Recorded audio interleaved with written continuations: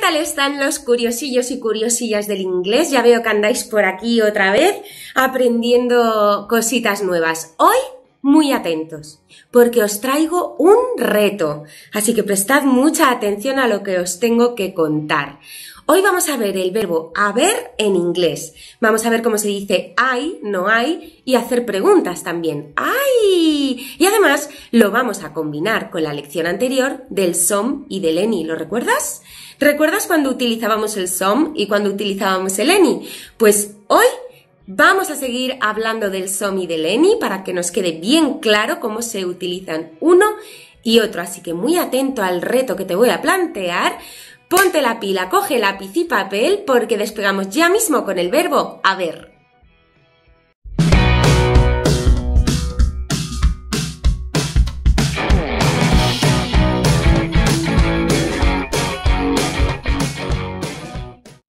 ¿Queréis saber cómo decimos hay un niño, hay una persona, hay varios libros en la mesa? Pues aquí tenemos las dos maneras en que vamos a utilizar el verbo haber en inglés. Por un lado tenemos there is y por otro lado tenemos there are. ¿A qué os suena esto? Sí, señor, al verbo to be. La forma singular del verbo to be is y la forma plural del verbo to be are. Esto nos da ya una pista de cómo se va a conjugar el verbo haber. Simplemente le tenemos que poner delante del is o del are la palabra there, there. Y vamos a decir there is o there are. Cuando usamos uno y cuando usamos otro. Sencillísimo. There is lo vamos a utilizar cuando queremos decir que hay una sola cosa. Es decir, lo vamos a utilizar únicamente para expresar que hay algo en singular. Y entonces lo que digamos que hay va a ir siempre en singular. Va a ser un sustantivo o lo que quiera que digamos que hay, siempre en singular. Mientras que there are lo vamos a utilizar para indicar que hay más de una cosa. Con lo cual la cosa que digamos va a estar siempre en plural. Vamos a ver cómo utilizarlo. Es muy sencillo porque como veis es el verbo to be con la palabra there delante. Así que no tiene mucho misterio, pero si lo quiero usar en afirmativo, si quiero decir que hay una manzana sobre la mesa, voy a decir there is. ¿Por qué? Porque la palabra apple, manzana, aparece en singular y además tengo aquí el indeterminado an. ¿Recordáis que en el tema anterior vimos el a, an, some y any? El an lo uso para decir una manzana indeterminada, no sé si es roja, no sé si es verde, no sé si es del súper o si es del mercado central, pero es una manzana. Entonces voy a decir, there is an apple on the table. Bien, otro ejemplo, si quiero decir hay una casa en esta calle, voy a decir there is, porque voy a decir solo una casa, por lo tanto voy a utilizar el verbo haber en singular, a house, de nuevo voy a decir a para referirme a una, in this street.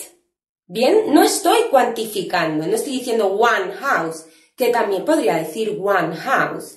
Estoy diciendo a house sin cuantificar con números 1, 2, 3. Estoy diciendo a house, una cualquiera. There is a house in this street. Sin embargo, para decir esto mismo en plural, ya no voy a decir there is, voy a decir there are, forma plural del verbo to be.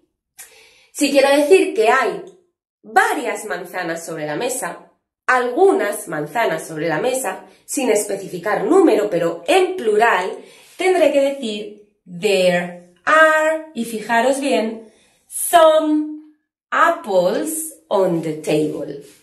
Apples aparece en plural, por lo tanto ya no puedo decir there is, y además tengo la palabra some, que en este caso significa algunas, varias unas manzanas sobre la mesa. Podría decir five, por ejemplo. There are five apples on the table. Hay cinco manzanas en la mesa. En cualquier caso, si voy a expresar el plural, tengo que decir there are. Y lo mismo ocurre con el segundo ejemplo que hemos puesto.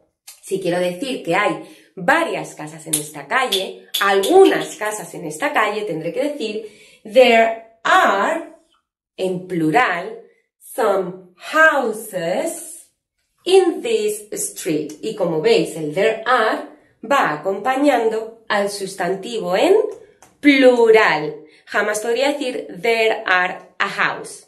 Y además tengo el some que me indica varias casas. Bien, podría decir ten houses, diez casas, perfectamente también. Bien, ¿qué pasa si lo que quiero decir es que no hay una manzana o no hay ninguna manzana ni varias manzanas? En ese caso, como lo que estamos viendo es el verbo to be, solo tenemos que aplicar la fórmula de negación del verbo to be. Si quiero decir que no hay una manzana sobre la mesa, tendré que decir there isn't an apple on the table. There isn't. Porque la negación de is es isn't y nos falta el on the table, sobre la mesa. Si quiero decir que no hay una casa en esta calle, tendré que decir there isn't a house in this street. No hay una casa en esta calle. No hay ninguna casa en esta calle. ¿Bien? Is, isn't. Forma negativa del verbo to be. Y lo mismo vamos a hacer con el are. Si lo que quiero decir es que no hay ninguna manzana en la mesa, pero la palabra manzana me aparece en plural, ya no puedo decir an apple y ya no puedo decir some. ¿Por qué no puedo decir some? Hemos visto la lección anterior. El some no se utiliza en frases negativas. ¿Qué vamos a utilizar? Muy bien, el any. Vamos a ello. En lugar de decir there are, voy a decir there aren't. Y lo contrario al some, para las frases negativas, para poder decir ninguna, tengo que decir any apples on the table. There aren't any apples on the table. Igualmente, para decir que no hay ninguna casa en esta calle, si la palabra house la tengo en plural, no puedo poner a houses. Tengo que utilizar lo contrario al some, que para negar vuelve a ser de nuevo el any. Y tendré que decir lo primero, there aren't, porque estoy negando. No hay, there aren't. Y luego tengo que decir any houses in this street. ¿Bien? ¿Por qué aquí utilizo any y aquí no? Hmm, vamos a poner un warning aquí. Aquí tenemos nuestro warning. ¿Qué quiero que os quede muy claro? Quiero que tengáis bien metido en la cabeza que el any ya sabemos que lo vamos a utilizar para negación y para preguntas como comentamos en la lección anterior, pero lo vamos a utilizar con sustantivos en plural y con nombres o sustantivos incontables, que hablaremos detenidamente de sustantivos contables e incontables en próximas lecciones, así que no te lo pierdas, no le pierdas la pista al canal, suscríbete, toca la campanita para que te lleguen notificaciones cada vez que subimos una lección nueva. ¿Qué quiere decir con plural y con incontables? Vamos a ver los ejemplos. Any en plural para negar. There aren't any pears. No hay ninguna pera. La palabra pears aparece en, en plural, perdón, y por lo tanto tengo que hacerla concordar con el verbo en plural, en este caso aren't, y tengo que poner any para decir ninguna. ¿Bien? Sin embargo, si yo quisiera decir que no hay una pera, para la negación en singular no voy a decir any. Para la negación en singular voy a decir a o an. Por eso os pongo aquí negación en singular. Sale el reflejo aquí del móvil con el que estoy grabando, pero espero que lo podáis ver. Negación en singular, a o an. Esta misma oración en singular sería There isn't a pair. Ya veis que aquí pairs aparece con la S del plural, mientras que aquí aparece en singular. Aquí hemos hecho concordar el sustantivo plural con el verbo aren't y aquí el sustantivo en singular con el verbo isn't. ¿Y qué pasa con los incontables? Que a grandes rasgos, aunque entraremos de lleno en este tema más adelante, son cosas que puedo contar o cosas que no puedo contar. Las que puedo contar son contables, las que no puedo contar son incontables. Y aquí dice, there isn't any water. Y alguno estará diciendo, pero bueno, aquí me has puesto un singular, isn't, y no has puesto a, sino que has puesto any. Esto se debe a que water es un sustantivo incontable. No contamos el agua, contamos los litros de agua, las botellas de agua, los vasos de agua, pero el agua no decimos un agua, dos aguas, tres aguas. Por eso, como la palabra water en sí es una palabra singular, pero es incontable, la tengo que hacer concordar con el verbo en singular, pero va con any. ¡Qué follón! Os acabo de hacer un poquito de follón en la cabeza. Bueno, lo bueno es que puedes ver el vídeo tantas veces como quieras, ¿vale? Eh, vamos entonces a ver cómo hacer preguntas con el verbo haber. ¿Recordáis cómo hacíamos preguntas con el verbo to be? Espero que lo recordéis y si no, ya sabéis que solo tenéis que ver las tres primeras lecciones del curso básico. Concretamente creo que es la tercera donde hablamos de las preguntas. Bueno, simplemente tenemos que hacer un cambio de posición del verbo to be. Pues con el verbo there is, there are, vamos a hacer exactamente eso. Veamos. Tenemos aquí la oración There is an orange in the fridge. Hay una naranja en la nevera, en el frigorífico. Si yo lo que quiero es pasar esto a pregunta y decir, ¿hay una naranja en el frigorífico?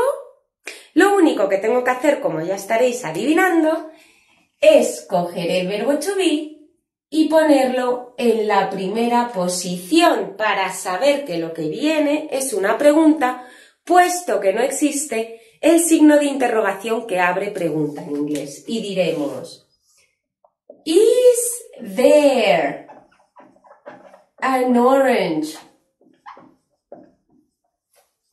in the fridge? Y ponemos exclusivamente el signo de interrogación que cierra, lo que nos da la pista de que esto es una pregunta es que tengo el verbo to be en primera posición. ¿Veis qué fácil? Is there an orange in the fridge? Y contestamos. O bien, yes, there is. Y ya no es necesario que digamos, yes, there is an orange in the fridge. No. Con decir, yes, there is, sí, la hay. Punto. Es suficiente.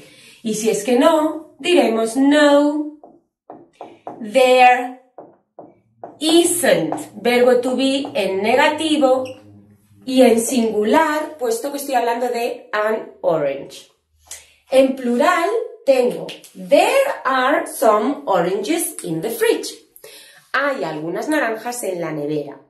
¿Cómo convierto esto en una pregunta? Pues simplemente cojo el verbo to be y de nuevo lo que hago es colocarlo en la primera posición para que me quede la pregunta Are there? Y ahora aquí tengo un some.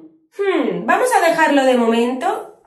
Some oranges in the fridge. Y cierro el signo de interrogación. Pero ¿qué pasa con este some? Some no sirve para preguntar. ¿Qué dijimos en la lección anterior que servía para preguntar? Eleni, una vez más. Entonces, para preguntar si hay alguna naranja en el frigo, tenemos que decir, ¿Are there any oranges? Fijaros que el any lo estoy utilizando con un plural y lo estoy utilizando para preguntar. Contestamos, yes.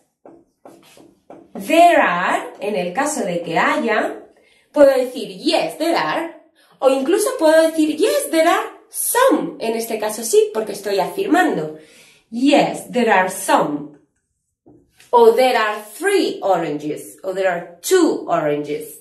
Y si quiero decir que no, la negación, de nuevo con el any. No, there aren't. O no, there aren't any. Bien. Bueno, pues ahora que ya hemos visto cómo hacer preguntas, cómo hacer la afirmación y cómo hacer la negación y os he puesto un warning así de grande, viene el reto. Quiero que repaséis el vídeo anterior, la lección del SOM y del ENI, a ver quién es capaz de encontrar un gazapillo que hay por ahí metido. Hay un error en los ejemplos de la lección anterior y ahora que ya hemos entrado más específicamente en el SOM y, en el ENI, quiero que seáis vosotros los que me digáis aquí en los comentarios de qué error se trata. Venga, a ver quién lo encuentra. Por supuesto, gracias por estar ahí, por atender esta lección que es un poquito complicada por el SOM y por el ENI. Dejar vuestras dudas y nos vemos muy prontito en la próxima lección. Chao.